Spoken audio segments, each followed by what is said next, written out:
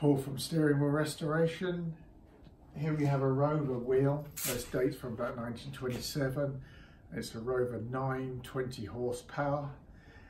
And uh, it's a celluloid covered wheel made by uh, Dover. You can see the original um, uh, trademark embossed in the back, a Dover trademark.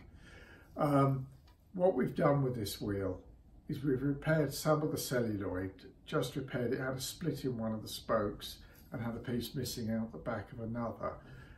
We've polished the boss a little bit. Then we've just gone around it and polished it very carefully because you can see it's got the original grip here on the outside of the rim and on the inner edge of the rim.